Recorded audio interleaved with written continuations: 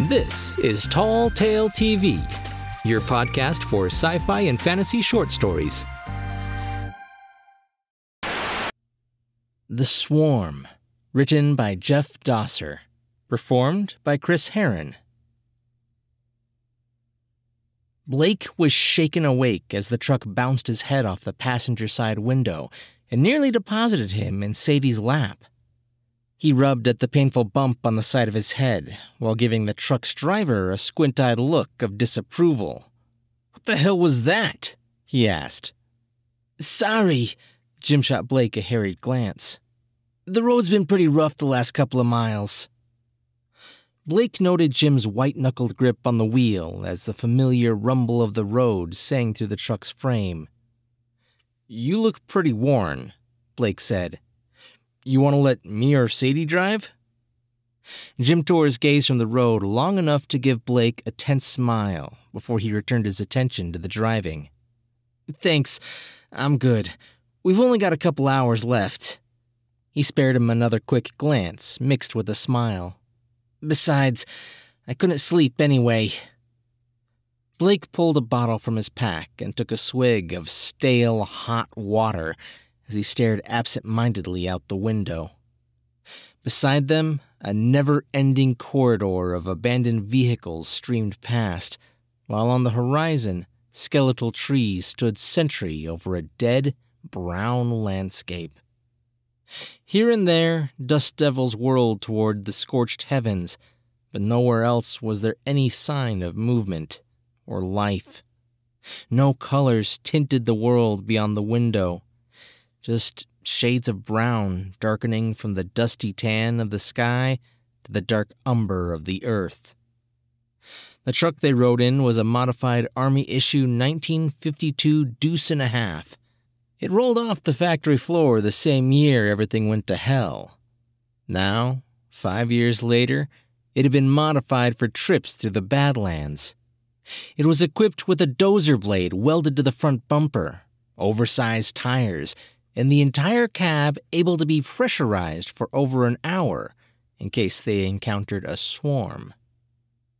In the center of the dash, just above the radio, sat a circular glass screen the size of a dinner plate. Inside, a dark gray arm spun in slow rotations, painting a fading green glow with each pass. It was state of the art radar and gave them a 20 mile view of the sky. Blake watched the arm swinging around the gauge before he reached over to brush away a smudge at the edge of the screen. that's not dust. Jim glanced over with a frown. I noticed it creeping up about an hour ago. Maybe it's a sandstorm, Sadie suggested. But the unspoken certainty was that it wasn't a sandstorm. It was a swarm. Five years ago, before swarms and death and misery swallowed his life, Blake was part of an insect virology team working out of Los Alamos labs. They'd been doing research on viral based pesticides to kill off crop infestations in South America. He'd found out later a group of entomologists with the Defense Department attempted to weaponize insects native to countries controlled by the commies. This group had gotten hold of his mutated baculoviruses and modified them with radiated isotopes before swapping out their original formula with the altered variant. When the test rays had been deployed, the initial results were beyond anything Blake's team hoped for. There was a 99% fatality rate of their target insect. But then the results got weird. The radiated poisons had mutated and were killing roaches all across the target zone. Blake thought they'd stumbled onto the perfect pesticide. Then things got even weirder. The roaches that died from the virus didn't stay dead. Within 24 hours, they reanimated. Only they were hungrier dead than they'd ever been alive. Inside a month, he was getting panicked calls from Washington. The virus was spreading. In areas of infection, every roach that died came back, hungry To make matters worse, there was something about the virus that made the dead insects not only unpalatable to predators, but also slowed any decay which might eventually destroy them. The normal breeding rate of roaches, already high, combined with the spread of undead insects to create a population explosion beyond comprehension. Soon, most of South Africa was quite literally choking on the creatures. They ate everything crops, grass, forests, and any living creature including people that didn't keep moving long enough to keep from being devoured. There were riots over the remaining food supplies. Regional squabbles grew into border wars, and eventually into a world war. It didn't take long before the nukes were falling, and civilization was dragged to its knees. Blake heard there were regions where life still thrived, places beyond the reach of the zombie roaches and radiation storms. But the stories of Easter Island, Java, and Whittier, Alaska were probably only fantasy. If non zombie roach life stood a chance, it was in the packages they carried. Blake and Sadie's team worked from the beginning to find a solution to the zombie roach outbreak. Then, last month, there'd been a breakthrough a microbe which feasted on the unique polysaccharides of the roach's exoskeleton had been exposed to various levels of radiation, and the latest mutations proved ravenous, hardy, and prolific. They were the perfect solution to the zombie plague picking at the world's bones. Their goal was simple reach the nuclear missile silo outside of Emporia, Kansas load the modified ballistic missiles with the microbial packages, and disperse them across the U.S., South America, and Europe. Blake picked up his pack and examined the green metal canister inside. The arm of the pressure gauge was pinned to the left, in the red. Blake flicked the glass with his finger, and the fine metal arm rebounded into the green. I hope they loaded this right, he said setting down the pack. My pressure gauge keeps dropping to zero. I'm sure they're fine, Sadie said, bending over and checking her own canister. They threw the gauges on as an afterthought, so it's not unlikely you got a bad one. We better hope so, Blake added. The microbes will survive in the canister for 48 hours, but only under constant pressure. If one of these canisters fails, then an entire continent will die. His gaze rose to stare out the window. And it's not like we can throw together another batch, now that the labs are gone. They rode in silence, each casting glances to the spinning screen on the dash. They all saw the growing bulge pushing in from the top of the screen. Can we pick up the base radio station from here? Sadie asked, clicking the knob on the radio. Sudden static rolled through the cabin as she dialed through the frequencies. Nah, uh, we lost Tinker not long after you fellas drifted off, Jim said. Why don't you try 1330 on the AM dial? There's someone alive around Wichita who plays reruns of baseball games. Sadie bent over, eye to the dial, and twisted the red arrow to 1330. Immediately, the cab was filled with crowd noises and the excited voice of the announcer. There's a liner just over Robinson's head, dropping into the right center for a base hit. Carl Furillo throws it back to Robinson. Hey, this is game six of the Yankees vs. Dodgers 52 World Series, Jim said, a smile cracking his weathered face. They listened until the Dodgers took the field, and Sadie said, no, this is game seven. I remember Barry and I were at a picnic, listening on the radio. She sighed. We had chicken salad. Blake stared unseeing into the distance while the game played and wind howled. He thought about his wife, Jane, and their two children, Bobby and Cindy. He remembered this game as well. It had been a chilly October, Wednesday, and he'd taken off to help Jane shop for his sister's upcoming wedding. He'd listened to the game on the car radio while Jane tried on dresses. Now, just four years later, they were all gone. Blake, snap out of it, Jim said, breaking his reverie. Yeah, yeah, what is it? The sky behind them had grown dark, and the wind scattered rippling curtains of dust across the road.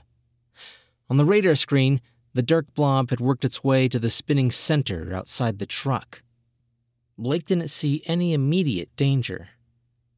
Jim slowed to a crawl and pointed ahead. In the distance, Blake saw an overpass and the typical rows of cars pushed off the highway by Army engineers. There's a car blocking the road about a mile up, Jim said. The road teams cleared this for us last week, which means it's probably an ambush. Blake leaned forward, gripping the dusty dash and squinting into the gloom. Jim's eyes were obviously better than his. Then he saw it, a dark shape blocking the road. So, what's your plan? Blake asked. When we get about a quarter mile away, you and me jump out. We'll stay to the sides but follow behind the truck. When whoever it is shows themselves, we waste them. Sadie gasped and looked at Jim. Isn't that a little harsh? Jim ran a hand through his crew cut hair. The fate of humanity itself is riding in this truck. To ensure our species carries on, justifies any actions. Sadie gnawed at her lip. I guess you're right. As they approached, Blake spotted the big blue Plymouth sprawled across the road. The Hulk's wheels had been removed, and it squatted on its frame, the doors and trunk open. Blake reached behind the seat and pulled out two environmental helmets, handing one to Jim. He lowered the helmet and clicked home the latches that secured the airtight link to his suit. They all wore the same formless gray environmental suits. With helmets attached, they looked like high altitude fighter pilots. Blake clicked the dial on his belt, activating the suit's power.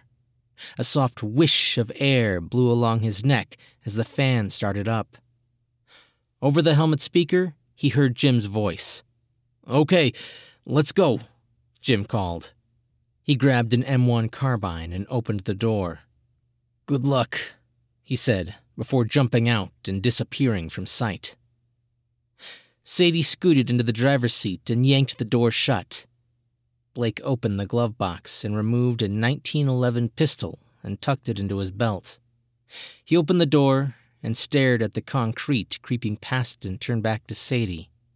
Be careful, her lips curled into a worried grin as she held out her hand. I will, he said. His voice sounded as hollow as he felt. He reached over and took her hand, giving it a reassuring squeeze. Blake slammed the door before he jumped from the running board and dashed to an overturned Ford Crestliner. Blake's breath echoed inside his helmet as he jogged along the side of the highway, using the abandoned wrecks as cover. As Sadie eased up to the blockade, three men jumped atop the grounded Plymouth. They each wore a bandana covering their face, dusty goggles beneath green army helmets, and coveralls. The center man leveled a bazooka at the truck, while the other two raised rifles. Blake could see movement among the nearby cars on either side. Drop your weapons and get out of the truck, one of the men yelled. Wait for my signal, then we open up, Jim said over the radio. Blake crept to the roadblock and ducked beside a burnt out Chevy. The only sound was the rumble of the truck's diesel engine and the wind blown grit chittering off its sheet metal door. Blake peered through the Chevy's broken windshield and saw the men on the Plymouth, heads together as they discussed what to do. Then the center man raised the bazooka to his shoulder Blake took it that Jim's signal must be blowing the guy's head off because a spray of red mist exploded from Bazooka Man's head. He tumbled backwards, out of view.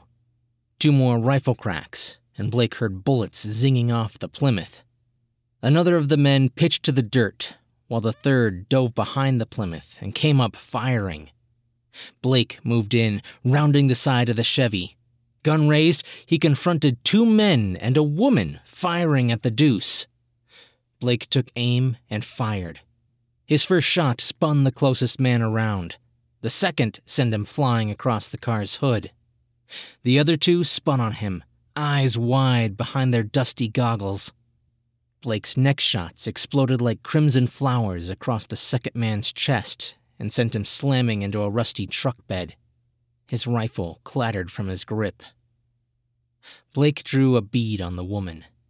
He'd killed before, especially during the war, but this was a woman, the weaker sex. He hesitated. The female bandit didn't suffer the same compunction.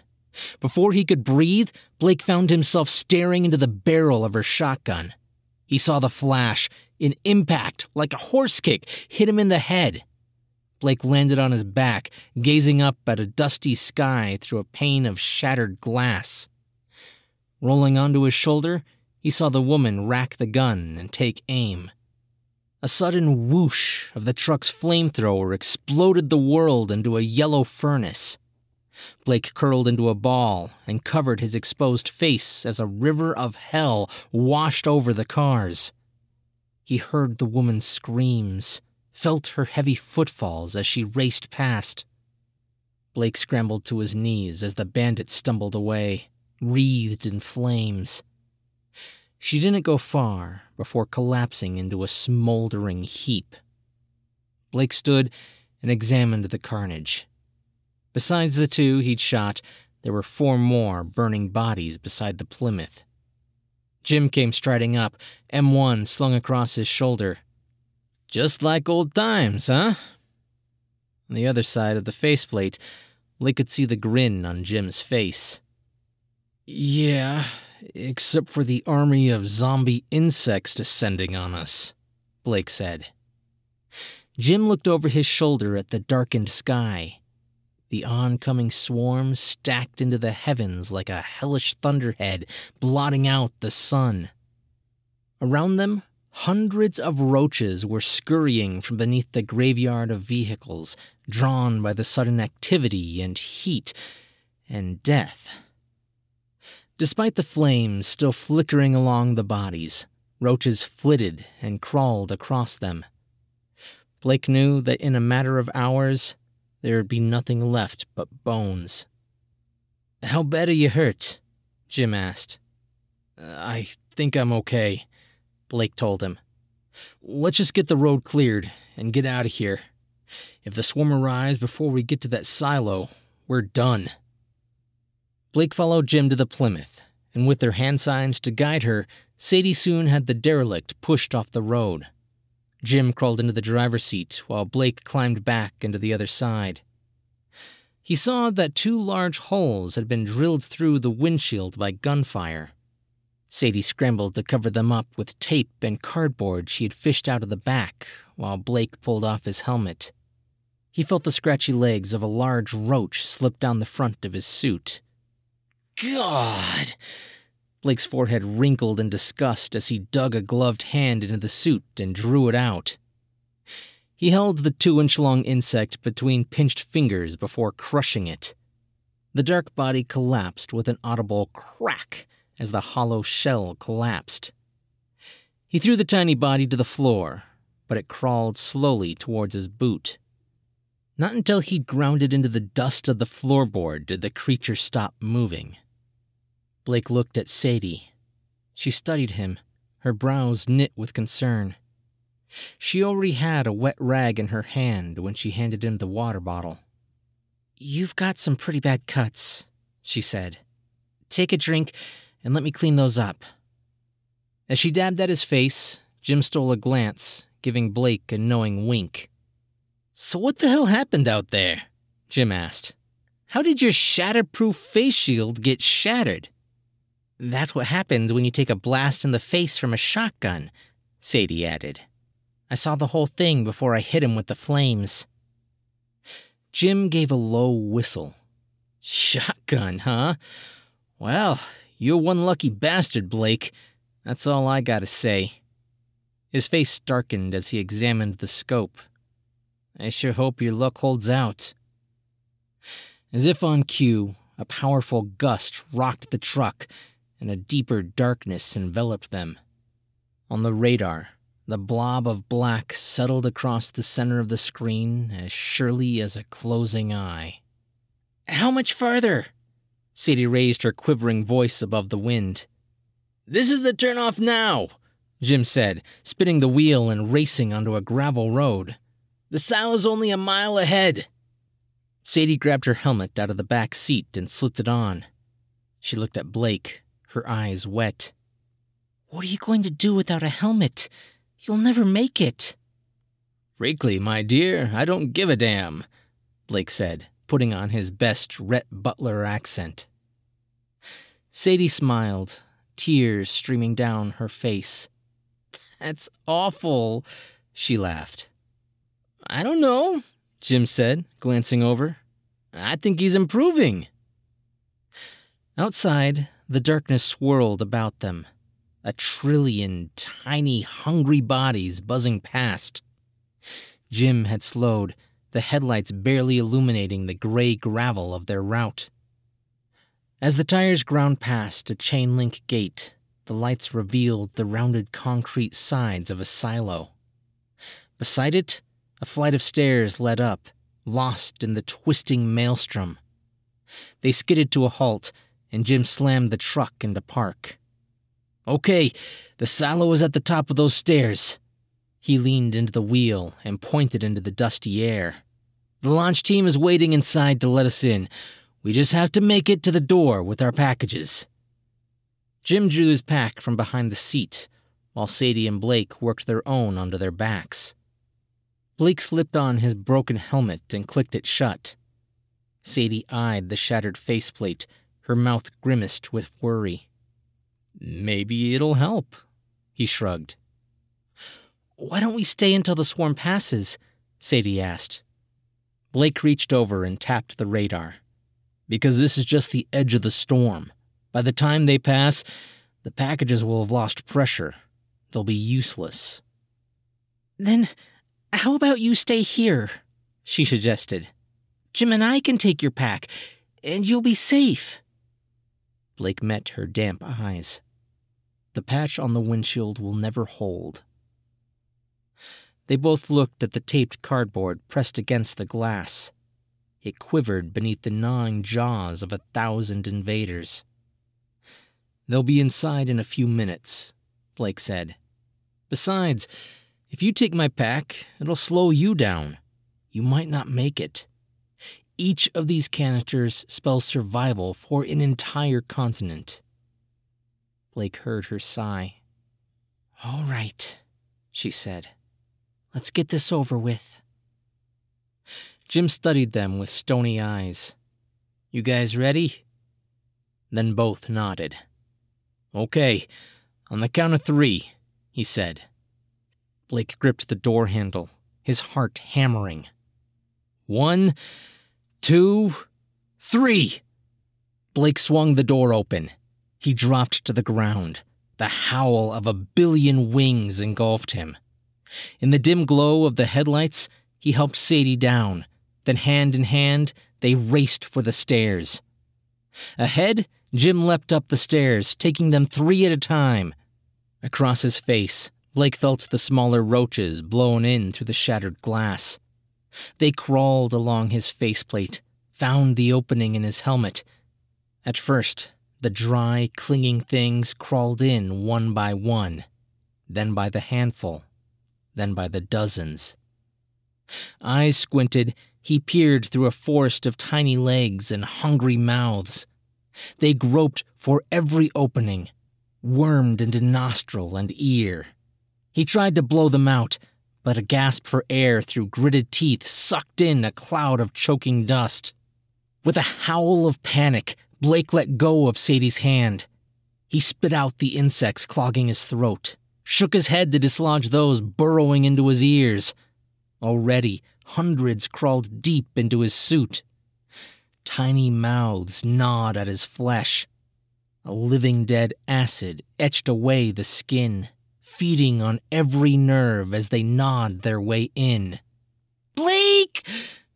Sadie's frightened scream echoed through his helmet as he tilted back, arms pinwheeling for balance. With a jolt, his foot slid from the step and sent him tumbling down the stairs. For an instant, he saw her turn and race after him. Then the wailing tempest shuddered him in its shroud. Lungs choked and burning for air, Blake rose to his knees.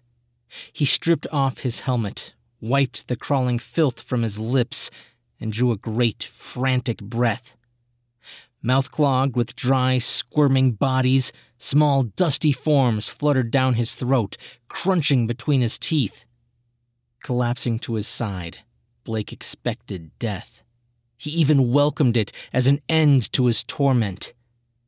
Then a cool white cloud exploded around him.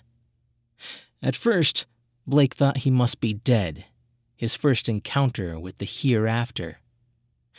Then the creatures covering his eyes, his mouth, they dropped away, tumbling to the ground in a twitching, quivering mass. He raised to an elbow, gawking in wide mouthed awe as an alabaster vapor jetted skyward, infused with the maelstrom like so much cream dumped into a cup of coffee. Around him, insects dropped to the earth like rain. In seconds, their dry, desiccated forms were nothing more than so much goo squishing beneath his gloved fingers. Then the wind shifted and Blake saw the source of his salvation. It was Sadie. She stood in the center of the staircase, legs planted, the high pressure canister gripped in her hands. From its mouth, a stream of gas jetted out like water from a hose as she guided the torrent this way and that. As he watched, the flow of white petered out, and she let the canister fall. It clattered noisily down the steps in a world suddenly devoid of sound. Then she turned and spotted Blake lying on the ground before her. By the time he pushed to his feet, she was at his side, diving into his arms. Oh my god, she cried. I thought you were dead. He swallowed hard, heard the dry click at the back of his throat. You and me both.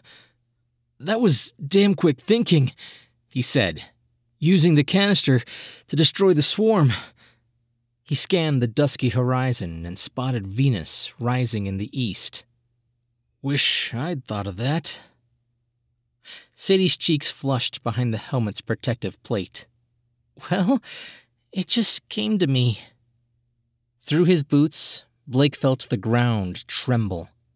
The low, throaty growl exploded into a crackling roar as a rocket clawed into the heavens behind them. The heated wave of the ship's passage blew them to the pavement. It covered them in a cloud of dust, every bit as blinding as the swarms. As the haze cleared, Blake stood and pulled Sadie to her feet. There goes North America's last hope for the future, he said. With my canister, we'll be able to save Europe as well. Sadie's helmet hissed as she snapped open the seals and dropped it to the ground. Are you angry?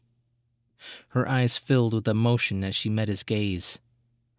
Are you mad I used my canister to save you? She looked up, and he noticed for the first time how her eyes sparkled when she smiled. He reached out and pulled her close. I should be.